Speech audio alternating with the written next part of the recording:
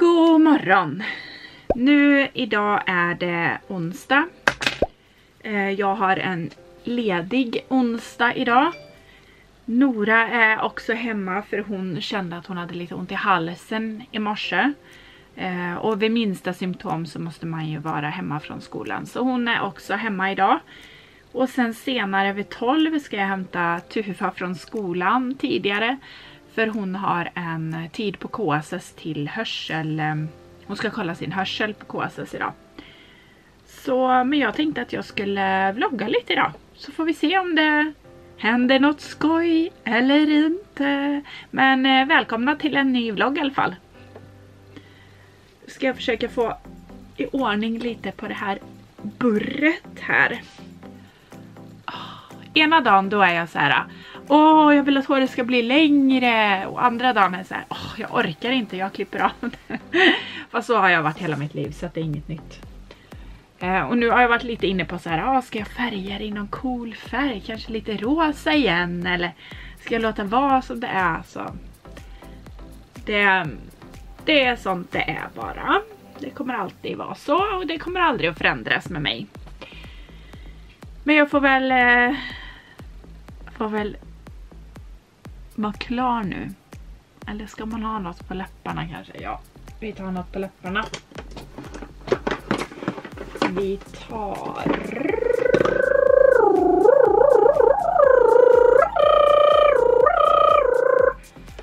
Vad ska vi ha? Tar... Nej, det var ju helt paj. Jag har Tuva varit i mina lådor igen. Helt paj här. Eller Nora? Jag har inte varit där. Här är Nora. Här är jag. Hallå! Hej hej. Du har tagit hand om tvätten nu för det fick du som uppgift va? Hon är ju liksom inte sjuk så då tänker jag då kan man hjälpa till hemma. När man ändå är hemma så slipper jag göra alla tråkiga uppgifter här hemma. Vad ska jag ha på läpparna nu då? Rosa. Rosa! Oh my god, oh my god! Det är skrikrosa. Jag har nog inget skrikrosa men det här är ett helt nytt. Du inte prova den då? Vi provar det här. Nyx. Det blir bra. Here we go. Åh oh, helvete, vilken rosa färg! Pink is the new black. Jag fick ett sms också. Det är någon som vill ta hål i öronen. Vet inte vilken tid som passar bara. Ja, innan tolv. Mm, eller i eftermiddag. Så. Rosa blev det. Nu blir det äggröra. Lite äggröra i magen för nu ska jag ut och ta hål i öronen på en liten tjej som kommer. Eh, så helt ledig blir jag inte idag men det går jättefort så det är inga problem. Och det är kul också. Så först måste jag få i mig lite frukost i magen.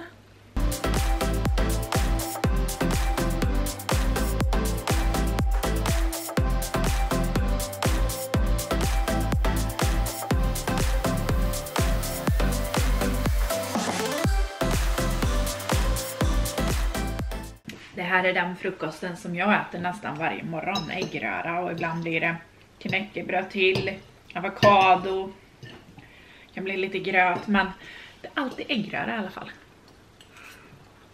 Det är gott va? Mm. Man blir mätt på det.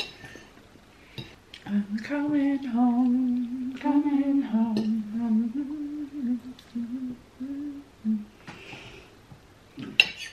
Och till min frukost så tar jag massa vitaminer. Jag tänkte att jag skulle visa er vad jag tar för vitaminer. Jag tar omega 3 varje dag. För att jag inte får i mig så mycket fisk. Plus att min optiker faktiskt rekommenderade mig att äta lite extra omega 3 för mina ögon är ganska så torra. Och då kan tydligen det hjälpa med slemhinnorna i ögat. Så omega 3 tar jag. Magnesium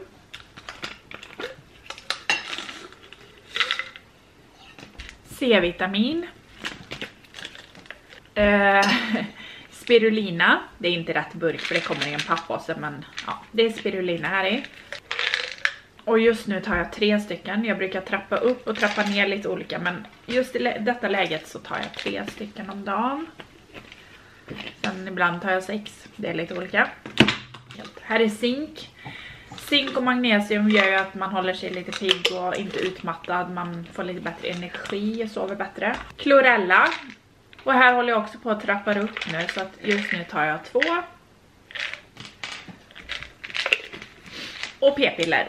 Så det är alla vitaminer jag tar på morgonen och de ser ut så här.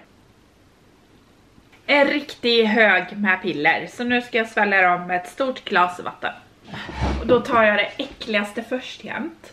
Och det är spirulina och klorella. Alltså spirulinan smakar typ ingenting. Men klorellan, om den ligger för länge på tungan, då smakar det verkligen gröna alger.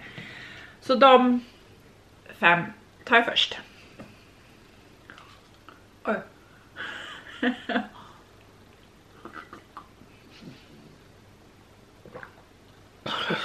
Så smakar det illa. Så lite vatten på fem piller. Mm, kolla min hand. Så. Och sen tar jag den hemskaste som är störst. Alltså den här smakar ingenting, men den är så jäkla stor. Så en dag då satte den sig på, hals, eh, på snett. På snitt, vad säger man? På sniskan. På sniskan.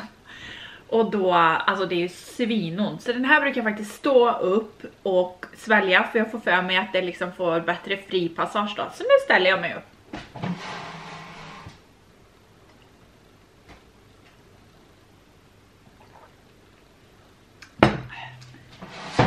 Det gick bra idag. Sen tar vi zink och magnesium.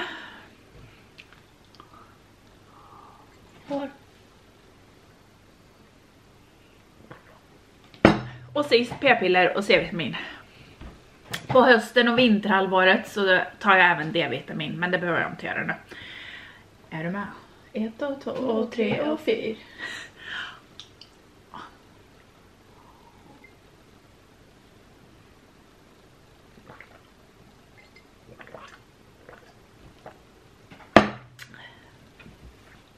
Och om ni hör mig snörvla så är det för att jag är beroende av nässpray. Det kan ju du intyga att jag är. Mm. Och just nu har jag inte tagit nässpray idag så då känner jag mig helt chock. Så nu ska jag ta lite nässpray. Och det ska vara Otrivin, ingenting annat funkar. Otrivin är det bästa nässprayet utan konserveringsmedel. Och ja, innan jag får massa kommentarer på det så vet jag att det inte är hälsosamt att vara beroende av nässpray. Men nu är läget som det är och um, jag har ju faktiskt slutat några gånger fast sen börjar jag igen. Ja. ja. Nu kör vi!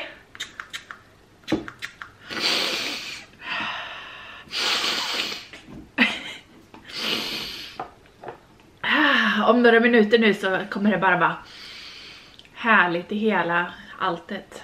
Vi ses när jag tar hål i öronen. Och där står våran nya grill. Som eh, DHL var här med. Det är en Landman, en gasolgrill.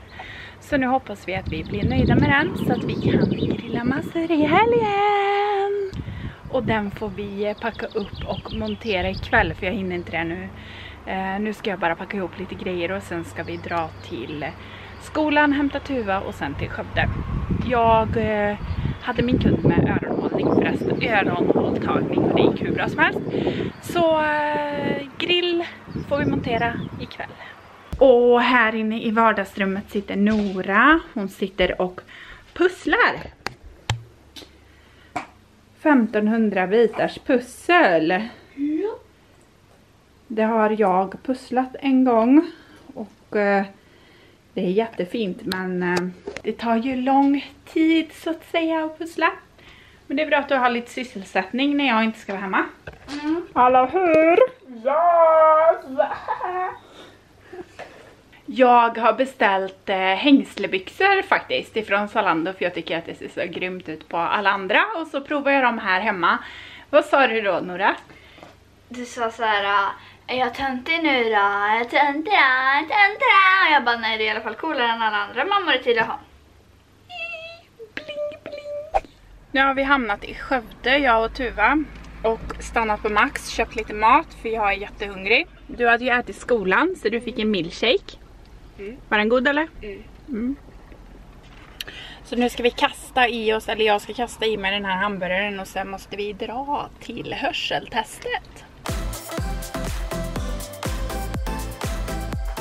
Mitt skyddsvisir som jag har beställt för att kunna ha när jag jobbar. Skydda både mig och kunderna. Så, så här ser det ut. Space invaders in the air you can have a do do do do do do Smart va? Nu kan jag andas utan att någon får det i ansiktet.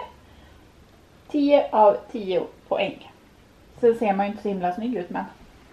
Jag tänkte att jag ska ta upp det här så får vi se om det är mycket vi ska notera eller om den faktiskt kanske till och med är klar. Har vi svårt att tro men vi får se. Nära.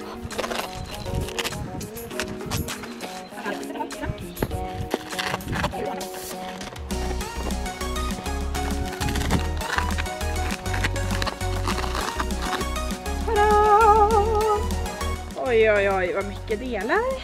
Bra jobbat!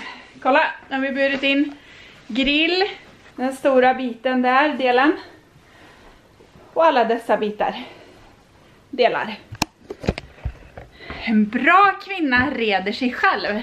Så nu ska jag bara montera ihop den och surprisa Jonas när han kommer hem. För det här är ju en födelsedagspresent från förra året till honom. Så att eh, det vore ju kul om den är färdigmonterad när han kommer hem. Alltså det är så mycket delar till den här, det tar ju aldrig slut. Och det är inte undra på att den här var tung att bära för här har det ju varit fullt upp hit med grejer såklart i. Det kunde ju vi varit smarta och tittat innan vi bar in den men så, sånt är livet. Så det här tar nog inte en kvart att få ihop direkt men uh, wish me luck, nu kör vi! Alltså driver de med mig eller? Här har jag fått en katalog som det står eh, monteringsanvisningar på. Så bläddrar man upp här till svenska. Då är det hur man ska ta grillen i bruk och lite information om sidobrännare. Det är det enda som står i den här. För sen kommer ett annat språk. Här, i den här katalogen som det står bruksanvisning på. Jo, då står det bara, bara massa säkerhets och varningstexter här förstår ni. Sida upp och sida ner. Inte en enda jävla bild om hur man faktiskt sätter ihop den här grillen. Det måste ju vara ett skämt. Jag har tittat i alla, alla paket och allting. Det finns ingen bruksanvisning. Alltså en monteringsanvisning och bruksanvisning har jag ju fått. Men inte i någon av dem så står det hur jag ska sätta ihop den här jävla grillen. Varför kan inte saker och ting bara gå lätt någon gång för? Nu sökte jag på nätet och hittade en bruksanvisning här. Och då förstod jag att det måste vara längre bak i häftet. Så de har alltså lagt det på två ställen. Så här hittade jag det nu i alla fall. Så det var ju skönt. Jag har kommit en bra bit på väg i alla fall. Det ser ut så här nu. Själva underredet och den här har kommit på. Men nu ska jag köra Tuva till dansen så att jag hinner inte fortsätta nu utan det får jag fortsätta med efter dansen. Men jag har hunnit en bra bit på, jag är en bra bit på väg i alla fall till att göra den klar. Eh, synd bara att jag inte hann innan dansen, men strunt samma. Nu åker vi på dans. Är du taggad för dans nu eller? Ni ska ju dansa utomhus på grund av corona. Ja. Det blir väl spännande va? Ja. Kul att dansa ute i det här fina vädret. Mm. Det skulle varit värre om det här var, var regn. Ja, men då hade ni nog inte kunnat dansa idag. Nej. Men hur har du gjort de här veckorna när det har varit corona då? När du inte har haft dans? Eh, Då har jag eh, dans. Ni har spelat en video så fick vi härma den. Dansläraren har eh, eh, spelat in filmer när hon dansar och så har Tuva kunnat och alla andra elever kunnat eh, dansa efter det hemma. Så att det har ändå varit en bra lösning. Men nu blir det roligt att få träffa sina kompisar och dansa ihop igen. Nu är klockan nio på kvällen och äntligen är grillen klar. Det har krånglat en del eh, och så vidare och vi hade ju sagt till barnen att ah, men ikväll då grillar vi. Men så blev det inte då utan eh, de, Tuva har gått och lagt sig och de fick äta smörgås och istället. Eh, men så här blev det i alla fall. Så här står han nu och är äntligen klar. Så att eh, Jonas han säger att han ska testgrilla. Vi får väl se om det blir någonting. Jag är helt slut. Men eh, ja, vi får se.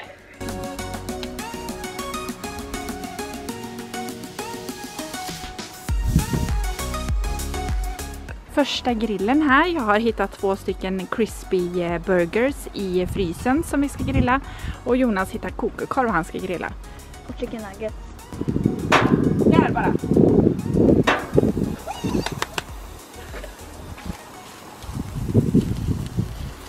Kan du lägga på lite chicken nuggets till mig också? Han ska till en grilla chicken nuggets också. Mums.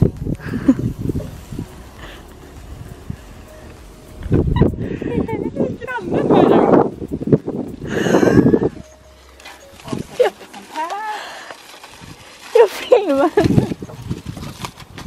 Så är det. Lisa också.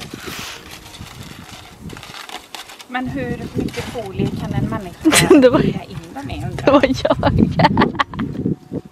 Ja, Jag vet inte vart det finns att brännare. Ja, det kan. Hur- Jonas, Det blir varmt överallt. är du säker på det? De här småttingarna de kommer ju trilla ner mellan hålorna.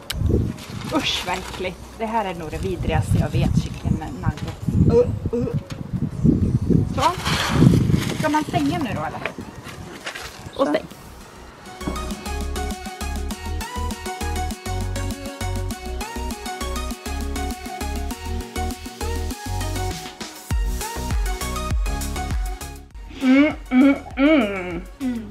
Fick den nya grillen godkänt? Ja. Det var jättegott med mat nu. Det är som ny, nygjord hamburgare. Mm. Suveränt gott. Du äter också hamburgare. Mm. Några chicken nuggets. Mums, mums, mums. Nu ska vi äta upp här och sen ska jag sätta mig i soffan och titta på finalen av Paradise Hotel. Så tack för oss och ha det så gött. Tjingeling!